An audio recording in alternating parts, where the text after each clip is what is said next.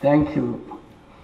It's, it's a great privilege for me, it's an honor for me to be here uh, to share with you the experiences that we have gone through. Uh, I'm not uh, here to give you any academic lecture or anything. It's simply telling what I do, why I do the things the way, the way I do. Some people uh, like what I do, some people don't like what I do. And while doing things, I raise a lot of questions to myself and to the world. And I try to uh, give my own answer to those questions. And again, there are debates about those answers are uh, appropriate for the persons who are, who are listening. So this will be kind of a chat. We'll have an occasion to um, raise, give comments and questions so that we can continue this discussion. But as I said, I'm very privileged that I could get a chance to uh, talk to you who are in the helm of things to be done uh, in the country, in the society, in the state itself. Uh, I'm given a cue where to start because uh, of the beggar program. you mentioned that, but that's not what I was thinking of mentioning. But since you opened it up, just to clarify, uh, I was always insisting all human beings are entrepreneurs. No exception to that. An economic system or economic theory has pushed us into wrong direction. The economic theory, the capitalist theory tells us that every young people growing up has to be prepared to get a job. And I was always saying job is not the destiny of a human being. The destiny of a human being is to be a creator, to be an entrepreneur, to be a problem solver. So that's the direction we should go. And people raise questions. Not everybody is a, an entrepreneur. Uh, so you have to make sure that those very small section of the people who are entrepreneur. So you have to be prepared to provide jobs for those people. I didn't accept the word that not everybody is an entrepreneur. So once I got into this debate, one idea came to me why don't I start a project within Grameen Bank which will be exclusively devoted to beggars? If the beggars can prove that they can become entrepreneur, this will give me a big boost in my argument. Look, even a beggar can become an entrepreneur. So that was the purpose immediately. We used to let, give money, give loans through Grameen Bank branches to beggars, but this uh, out of many, some will get it. But this was a project. We focused on, and as you mentioned, I made it simple. I said, if you are interested, a staff can give one, choose one beggar to lend money. Uh, so the restriction is, you have, this is your decision. It's not my decision. If you want, you can do it because we are trying at it. We made it very simple.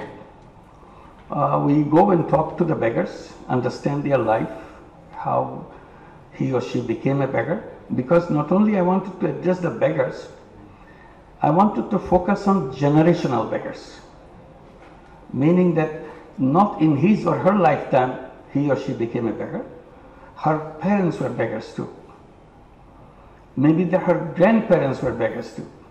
So we are trying to look at the traditionally entrenched beggars for generations. So we have to go and find those people, not the one just became beggar three, three years back wanted to see because he's deep-rooted beggar. So he had no experience of other life because his grandparents are beggar, his uh, parents are beggars, now he or she is beggar. So this is deep-rooted inside. If he and she can become an entrepreneur, this would be a demonstration. Look, it is in, embedded in human being. So that was the beginning. We made it very simple. The message we gave to the beggars, the one that we wanted to talk to, finally selected the person, Look, as you go from house to house begging, in Bangladesh, in the rural areas, usually a beggar goes around the village, house to house, and say, oh, I didn't eat for several days, please give me something, my children are hungry, this kind of stuff.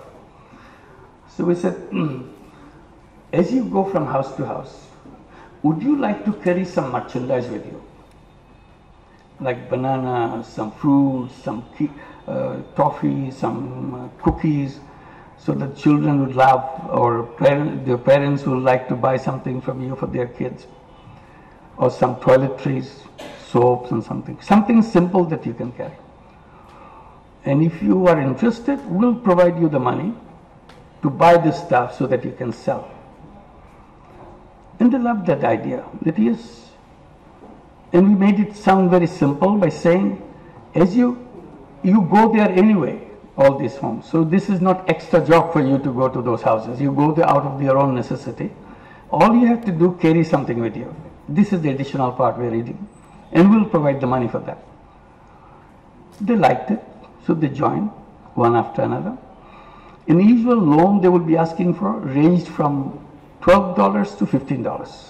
That's about the size of the money they wanted. We said, okay, we'll give you the money. And as you mentioned, there is no time limit to pay back. So you can either spend your lifetime not pay back, still you'll not be a defaulter because there's no time limit. So you feel relaxed and no interest. So that interest will not accumulate on your money. So the money will remain as it is. That's fine with them. And they started and they loved it. Many beggars joined that program. And I wanted to know after a few, after a year or so what happened, how many, what they're doing. I started talking to them. I go to the villages talking to them. Do they enjoy it or they don't like it? They loved it. Their explanation, most of the explanation was, as we go to the homes now, the begging, they open the door for us, let us in. Previously, when we didn't have this, they will say, well, come back tomorrow or come back on Friday uh, through the window. They will not open the door. Now they open the door and let me sit on a stool, which they never did before. So the respect they get because they brought, she brought some merchandise, open it up, kids come around, they want to buy this, want to buy that, mother is struggling with the children, no, not this, not that. So it became a family thing. And some said, now they know which house is good for begging and which house is good for selling. I tell my colleagues, I said, look, they didn't go to the Harvard Business School, but they know the market segmentation, which way to go, how to do, do that. So this people may be beggar, may be illiterate, but they're smart, just like any other person. So she enjoys it. Now they get a new job for themselves. Many housewives give them a list to bring for them. So they became personal shoppers because the women cannot go to the marketplace to buy things and husbands always forget to buy things for them. So they, they found this is a convenient way. I give her kind of a uh, list and she brings it, I pay, pay her and that's it. So it became very popular. Within two years, of more than 200,000 beggars we had. And out of them at that time, more than 25% stopped begging completely because they became door-to-door salesperson because they communicate between the market and so on. So this is the kind of thing people, we never gave them an opportunity to do things. And I keep raising this question, why poverty? After seeing this again and again for many, many years, I came to my explanation and my conclusion. I keep saying poverty is not created by the poor people. It's not their fault. It's not because something is lacking in them. They're as smart as anybody else. Simply, society never gave them the space so that they can grow as tall as everybody else. So, poverty is not created by the poor people. Poverty is created by the system that we follow. So the root cause of poverty is in the system, not in the people. That makes all the difference. The moment we say it's not their fault, it's the fault of the system, in order to change the condition of the people from poverty to non-poverty, you have to concentrate on the system itself. And I give the example of how the system has been wrong for them. I give the example of financial system. I said, look at all the banks The moment you say bank, immediately you think of something which works for the rich. This is not for the poor people globally more than half the population in the world has no connection with the financial institution. Financial institution remains something for the people above that level.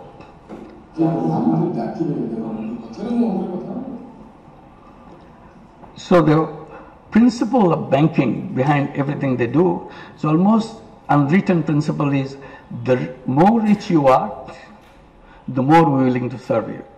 Richer you are, more attractive you are. So we had to undo that system so that it comes to the people. So what you hear about Grameen Bank, the bank that we created in Bangladesh and the word microfinance became popular and so on. The basic principle of Grameen Bank is poorer you are, more attractive you are.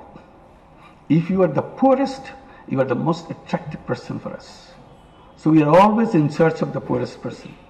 When you go to a village, you start a Grameen Bank, we are always looking for the person who is the poorest person in the village.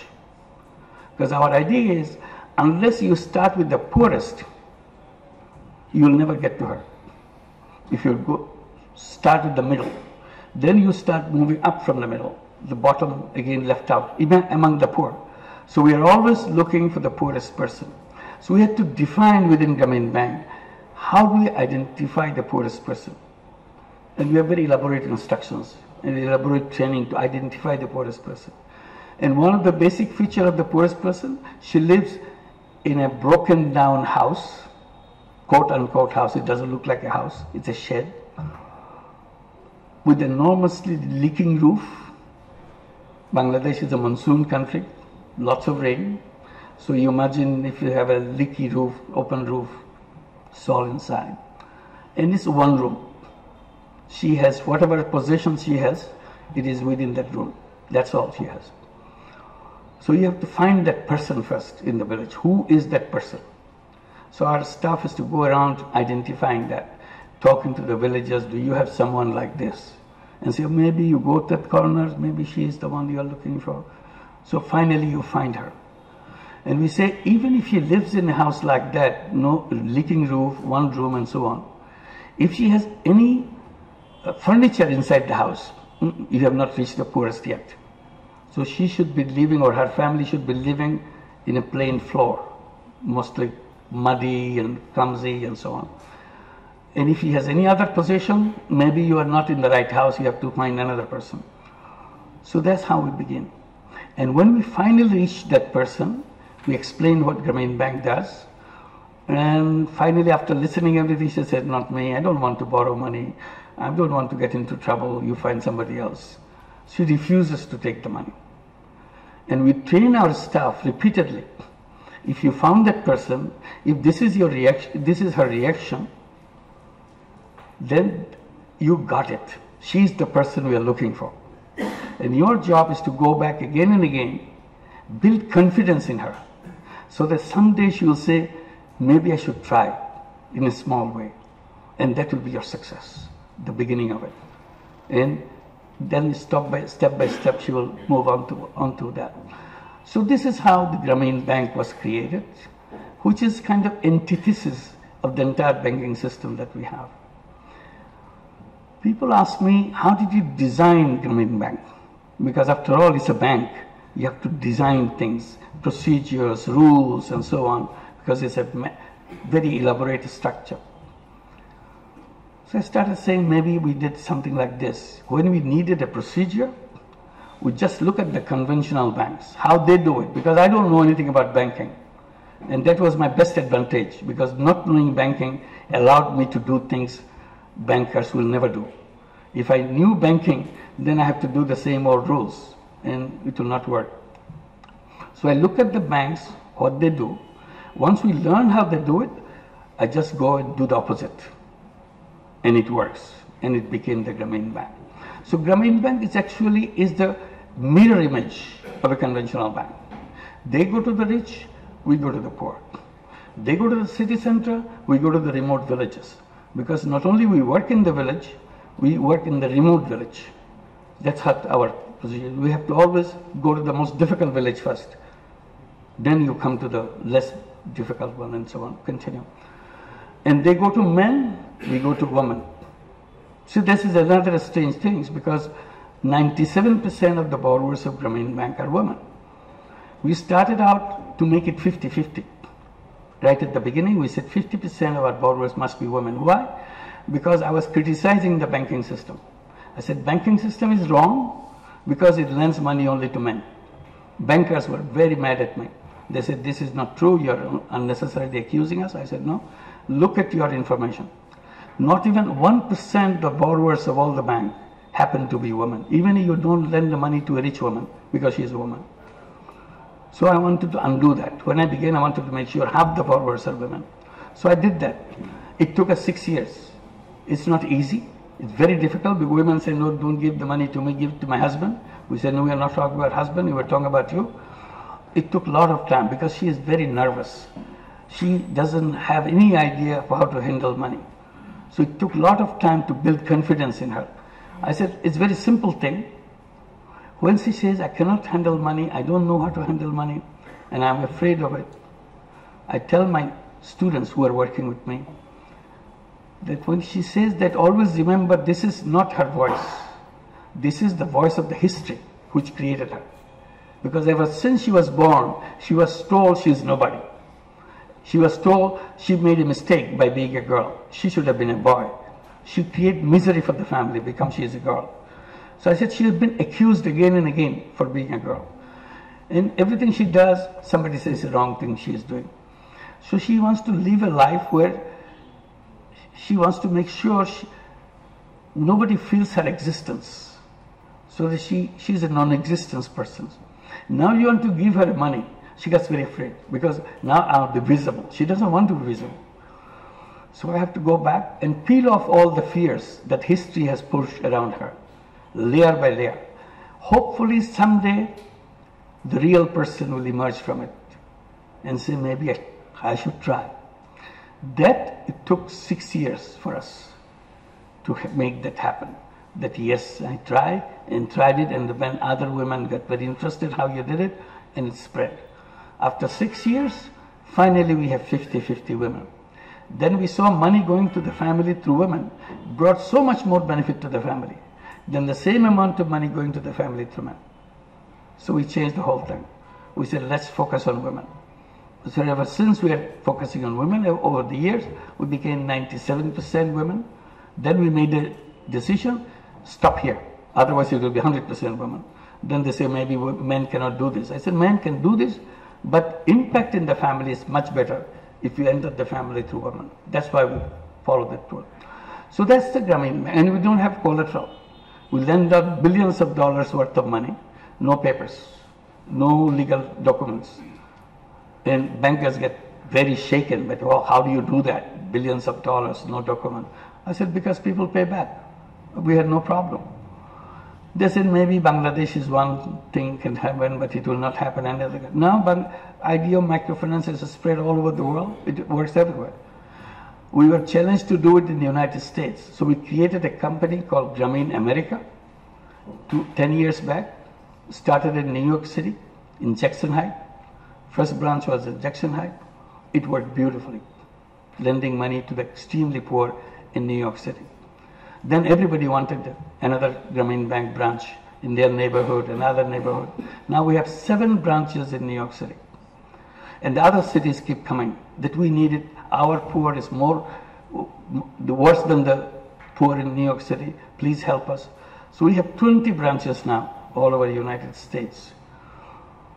In Omaha, Nebraska, Charlotte, North Carolina, um, uh, Los Angeles, San Francisco, Indianapolis, and so on. In 12 cities, 20 branches, totaling, reaching out about 100,000 borrowers now in 10 years. We have given out over a billion dollar loan to all these women. Startup loan is about $1,500. $1,500 is a lot of money, even in America. They give their life to get to that $1,500 to borrow them. Repayment rate over the 10 years, over all the branches, near 100%, always above 99.5%. never failed. No documents, nothing. Most of our borrowers are undocumented women. They don't even have a credibility, credential for their own. Still we lend money. We have no problem in doing that. So that's the idea of microcredit and so on. To undo the system that we have created. I said we have to create the, another class of banks, bank for the poor. Today all the banks we have are literally bank for the rich. We don't say it, but that's what they are. I said if that is so, then why don't we deliberately create bank for the poor? And then serve these people. And I remind people again and again, particularly the policymakers, by saying that look, credit is like an economic oxygen. If we don't have oxygen in this room, we cannot breathe. We will collapse. We become dysfunctional. That's what happens when you don't have economic oxygen for people. Then they cannot function. They cannot activate themselves. And we call them poor people and blame them. It's not their fault. Simply they are missing the economic oxygen. The moment you connect them with economic oxygen, they become active, they become productive, they become intelligent, using their capability and so on. And that makes all the difference in their life. But the society never created that.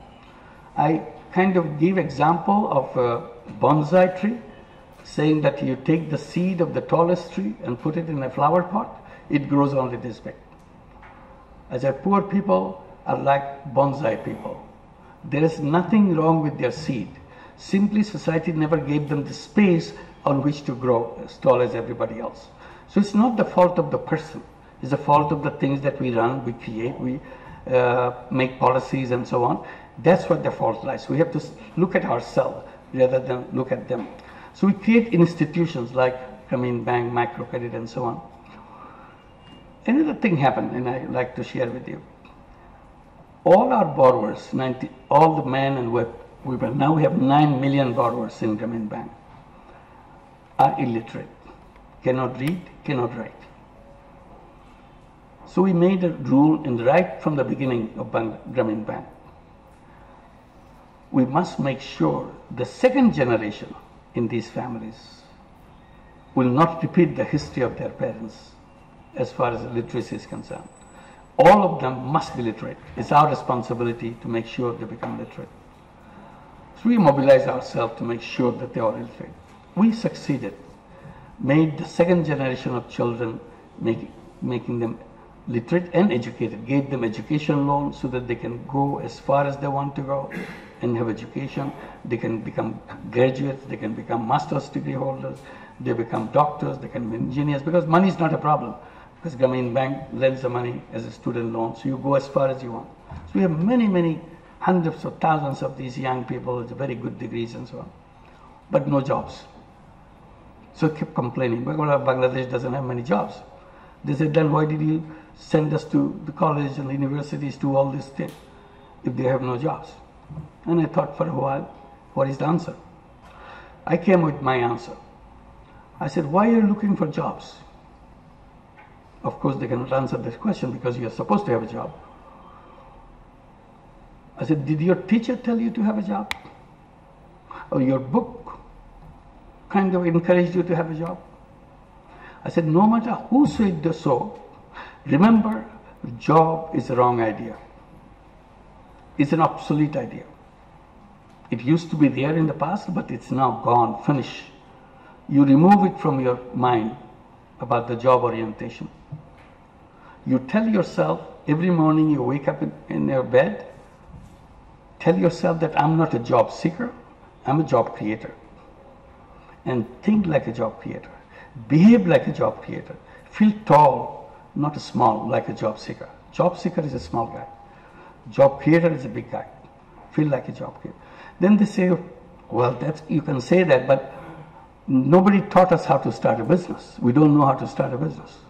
We are told all kinds of things in our classes, in physics, chemistry, biology, history. We learned everything, but they never taught us how to start a business. I said, you are a son or you are a daughter of Grameen Bank mother. Your mother joined Grameen Bank 30 years back or 40, 20 years back. She's an illiterate woman. She took 2,000 taka out, 5,000 taka and started a business. And ever since, for the last 20 years, she's paying this back and taking a larger loan and a larger loan, and that's where you're born. And then she sent you to school. We financed you. Now you're telling me what your illiterate mothers could do, you cannot do it yourself. Who taught your illiterate mother? Did she go to school to learn how to start a business? I said, You know what is the difference between your illiterate mother and yourself? The difference is your mother is a natural human being. You are an artificial human being. Your school has made you an artificial human being. As a natural human being, she knew what to do. She didn't hesitate for a second. She took the money and started it. She didn't worry about it because her friends are doing it. I can do it too. I can raise chicken. I can raise vegetables. I can sew clothes. I and I can sell. I can pay the money back. What is the problem? But your education has completely wiped out all your natural things that you had. I said, what, why didn't you do something? Why didn't you go back to your mother? Remove all the things you learned from schools and be a natural human being.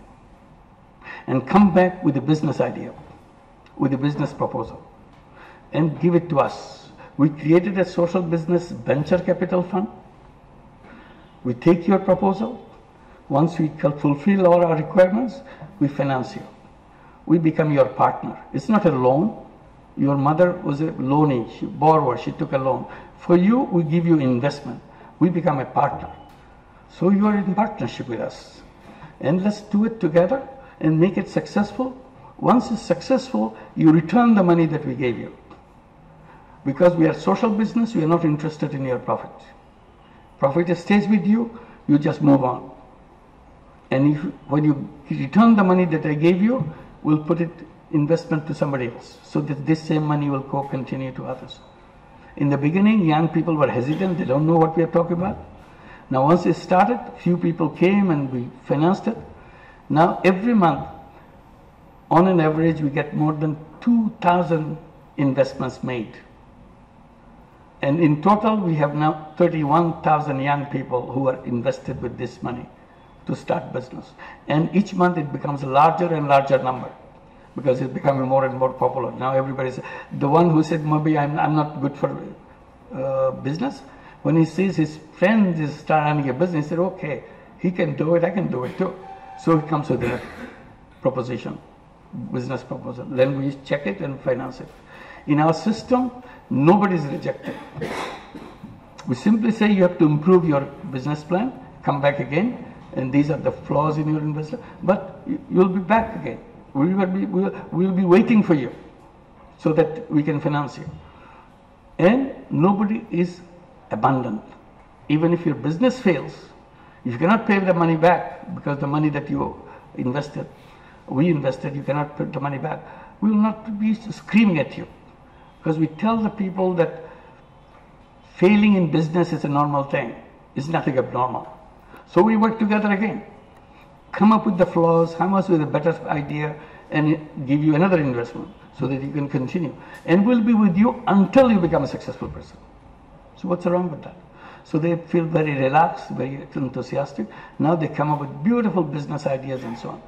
And now my faith in entrepreneurship becomes stronger. I said all these illiterate women with a small loan can become entrepreneur. The women who's illiterate, women who never crossed the boundary of their villages. They don't know anything about the world. If she can become a successful entrepreneur, Anybody in the world can become successful entrepreneur. Simply our system is not geared that way. Our system mm. is to push more money to the guy who has more money already. And that's why we are pursuing them, for, forgetting the people who are the behind. So as a result, we created a world which all the wealth is concentrated at few hands.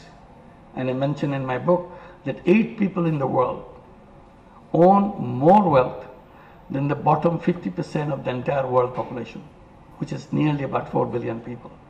The wealth of the 4 billion people equals to the wealth of the top 8 persons. And we know those 8 persons. Bill Gates, Warren Buffett, Mark Zuckerberg, these are our friends. These are not kind of bloodthirsty um, with a kind of funny face. This is a very normal human being. What is wrong? Why all the money go to them, not to the people at the bottom? Because the system is designed that way. That's what we call capitalist system. It's designed in a way that suck up all the wealth, then pushes in the top. And the reason they made a basic, you can change that system by changing the basic fundamental interpretation of human being in the system. Because the whole system is based on the assumption that human beings are driven by self-interest. So assumed all human beings are selfish. I said that is a totally wrong interpretation of human being. So we are carrying on an economic system which is based on a wrong interpretation of human being, being a selfish, a greedy human being. And now system created us as a greedy person because that's what they tell us in our classroom, that they, you have to be selfish, uh, you have to be driven by selfless, selfishness to make to become successful. The more money you make, more successful you are because you are accumulating wealth for yourself. I said the real human beings are both selfish and selfless. The selfless part is completely eliminated from the discussion of economic theory. It's not accommodated there. So what we have done in Bangladesh now, it is spreading around the world, created a different kind of business. Business to solve problem, which is based on selflessness. We are not interested in making money out of this business. We are creating this to solve problems. And we call it social business. Non-dividend company to solve human problems. Mm. Now, mm. many, many of those companies are coming up. We have many companies in Bangladesh. Now they're Indians. They are coming up. There are a lot of big companies who want to start social businesses and so on to solve the problem of water, problem of unemployment, problem of healthcare, all the things you do every day because this is our job as a government to do things.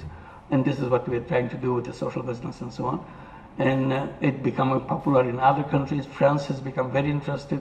They want to adopt it for the whole city of Paris, how to solve the problem of Paris through social business. Germany became very interested. So we have now many, many people rediscovering themselves that we can do many different things that we do. So the two things, and I'll conclude here we have to address, this is what we are trying to address. Reinterpret human being. Number one, human beings are not 100% selfish. Human beings are a mixture of selfishness and selflessness. So on the selfishness, we have the business that we run today. Everything is about making money for yourself, for the shareholders. So that's a selfish business.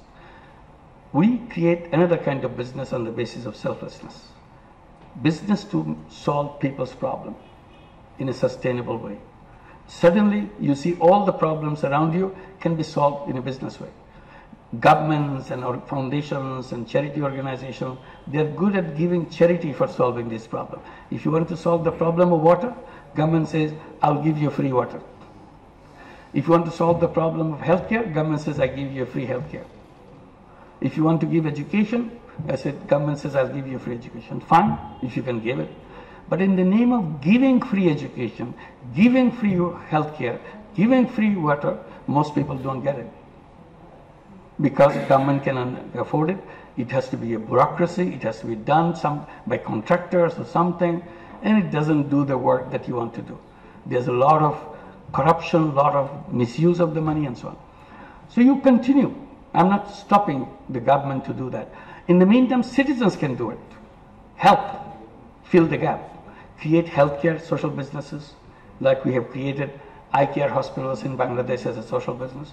So you, you can do the cataract operation for a small amount of money and the hospital runs by its own income so you don't have to look for any charity or anything. Mm. I always point out charity is a good idea but one basic problem of charity is Charity money goes out, does a wonderful work, but money doesn't come back.